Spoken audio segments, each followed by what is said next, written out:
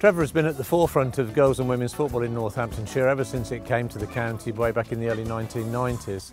This award couldn't go to a better person. He's, he deserves it for all his dedication and hard work in developing the game.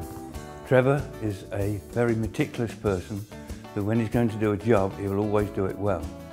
It's no surprise to me that he's been nominated for such a prestigious award and it's fully deserved and for once in his life he'll be in the spotlight rather than the guy standing on the touchline cheering everybody else on.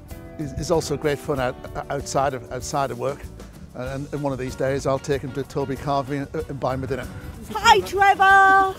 Uh, we just want to say that we think you're fantastic. Um, thanks for all your help over the years and our many dates at the pub. yeah, you're a wealth of knowledge, Trevor. You're a great guy. Really pleased that you got this award. Really well done, Trevor. Trevor has been inspirational. He's helped me no end. I'm grateful and I would personally like to thank you.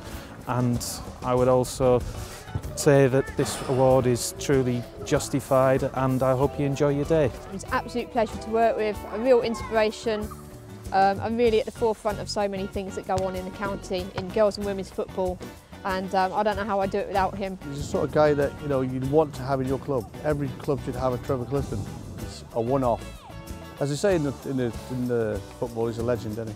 That's all I can say about him. He's a wonderful person, thoroughly deserving of the award, and I'm really pleased for him. Well done, Trevor. Well done, Trevor. Congratulations. Well done, Trevor. All the best. Well done, Trevor. It's good to see that somebody's actually put you forward for this, this award. Massive congratulations, Trevor. This is so well deserved. I'm really proud for you.